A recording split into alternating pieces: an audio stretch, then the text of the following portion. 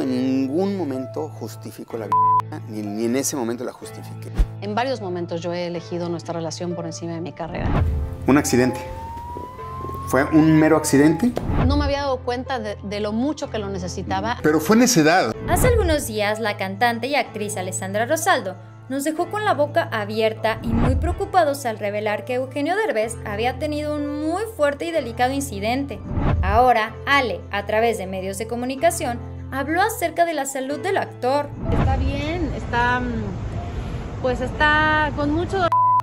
Alessandra dio a conocer que el cómico, protagonista de la película, Cómo ser un Latin Lover y no se aceptan devoluciones, efectivamente sí se rompió el hombro, como ha trascendido en las últimas horas a través de distintos medios de comunicación. Y es que Alessandra también agregó que es muy probable que nuevamente operen a Eugenio. Tiene que quedar quieto por un buen rato, ¿no?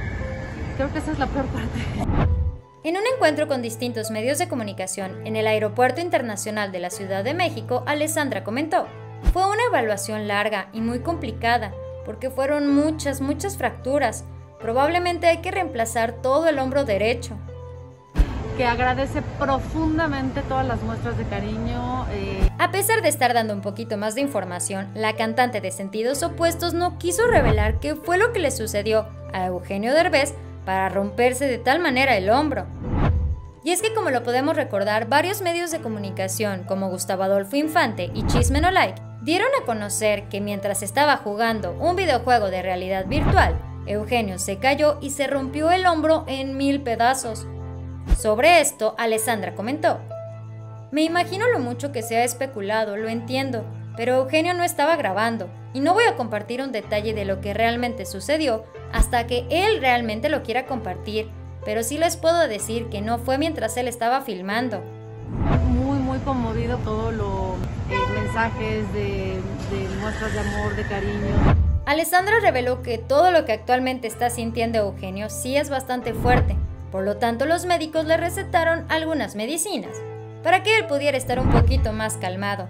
Por ahora él se encuentra en su casa, al cuidado de la mamá de Alessandra y de su hija Aitana, quien según Ale, ella lo está llenando todo el tiempo de besos y apapachos.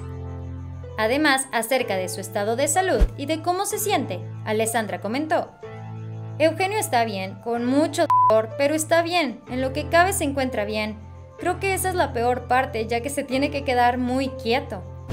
Lo que pusimos ahí en el comunicado es cierto, se ha sentido un amor tan grande.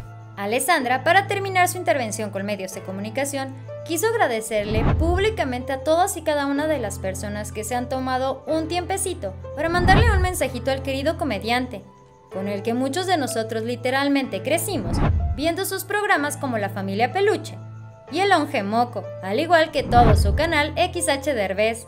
Con sus propias palabras, Alessandra agregó, la cantidad de mensajes de amor, de bendiciones y de luz y de cariño que hemos recibido es abrumador. Eso ha sido muy hermoso. El celular lo tuvimos que apagar porque este no dejaba de sonar.